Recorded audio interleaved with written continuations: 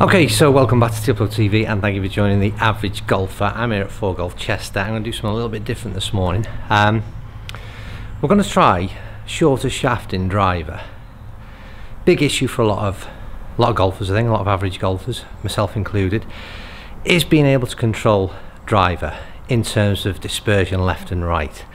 We all like to give it a whack off the tee, but we'd all like to be, or majority of us like to be a bit straighter. I'm going to see if putting a shorter shaft in a driver head can make me control the ball any better than I currently do with the regular shafting.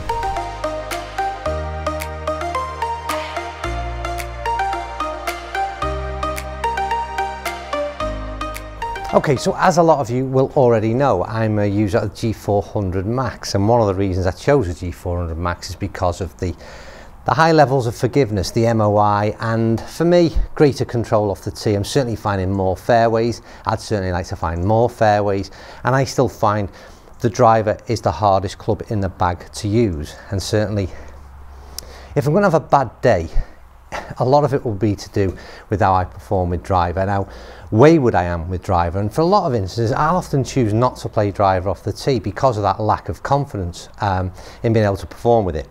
So I've seen a couple of it. This is a repeat video. This is a copycat video. I make no qualms about it. I've seen other people do this test.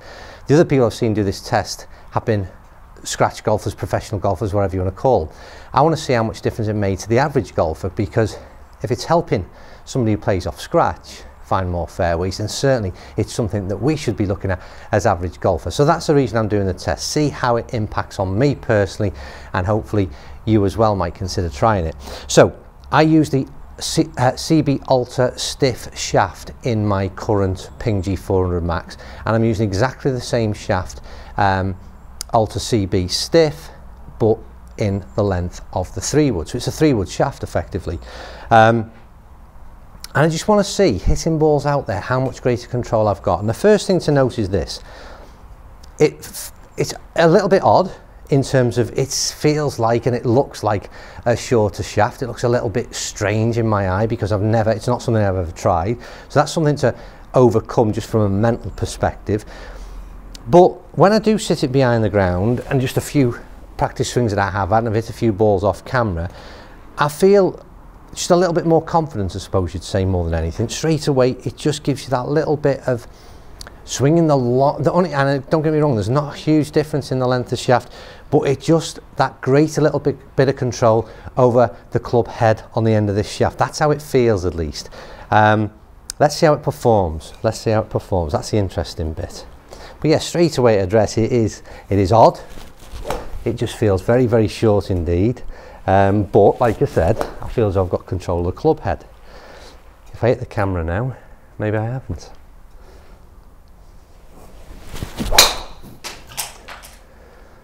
Believe me, that is bullet straight.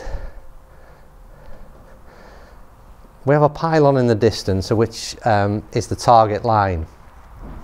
And that is right down it. It's a fantastic start. I'll hit another ball. For some reason as well, I just feel as though I've got a better tempo. Um,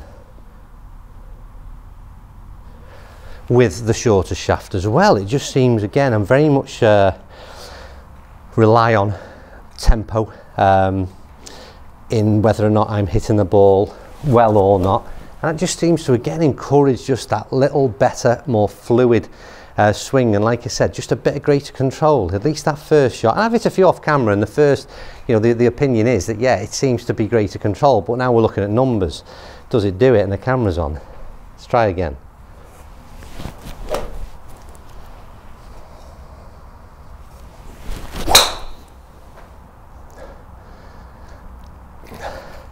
I haven't managed to hook up the software that watches ball flight as yet and I will get there I promise.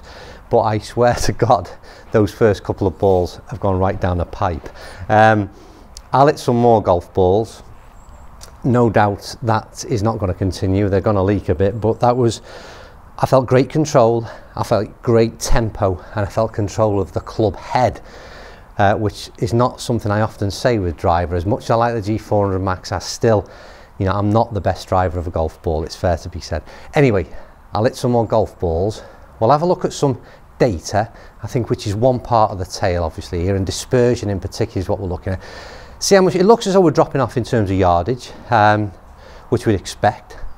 Um, but yeah, let's see how much of an impact it has between, I'll go and hit some balls as well um, with the regular shafting, regular length shafting that is, and uh, we'll do some comparisons.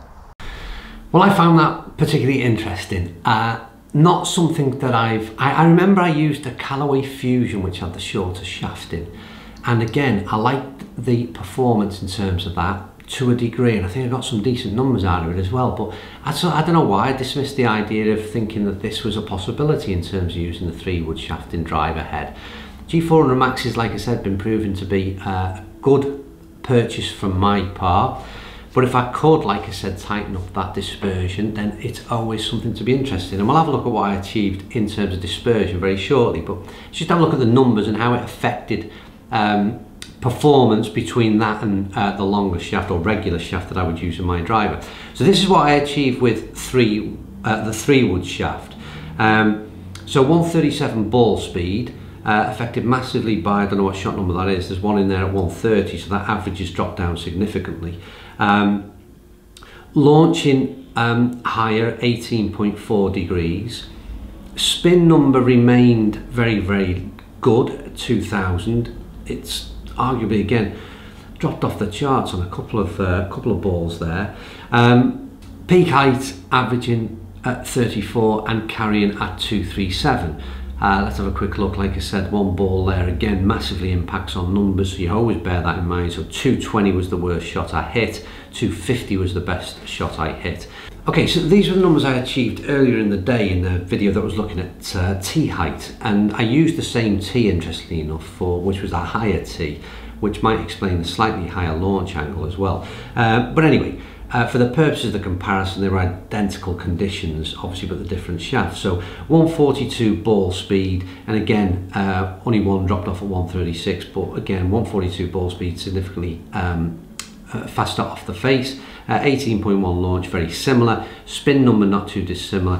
246 in terms of uh, in terms of carry. So again, just making reference back to those numbers, we've probably lost 10 yards in distance maybe on average ball speed is dropped off for that and that'll be obviously largely due to the length of the shaft in terms of club head speed. Uh, so probably what we'd expect in terms of numbers um, dropped off slightly and, and that's about it and that's like I said what you would expect. I'll throw up the dispersion chart because this is the interesting one for me and that's in front of you now. Now as you can see I fit two balls down the right out of that circular group that I've put together there. Two balls down the right, one ball down the left. But in amongst all that, this multicoloured circle that I've grouped around that shot, I think there's eight shots within that group. That is extremely tight grouping for me. Um, they're all slightly right of centre. I was able to hit a nice controlled draw, if you like.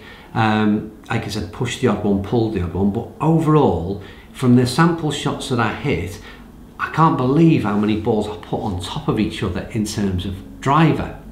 So assessment time or valuation time, I think that this is a real interesting one. I think it's a real interesting one that a lot of golfers should consider and a lot of manufacturers should make more available in terms of the option to choose that shorter shaft.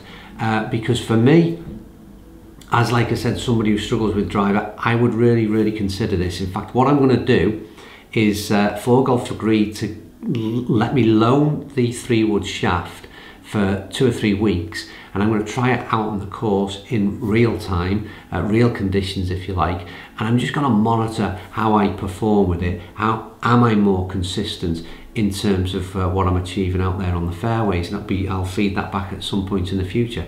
But a real, I found it really interesting. I'm, obviously, I'm slightly surprised, at, maybe I shouldn't be, um, but yeah, I think for average golfers, shorter shaft on driver is a real possible thing that we should be considering. I really do.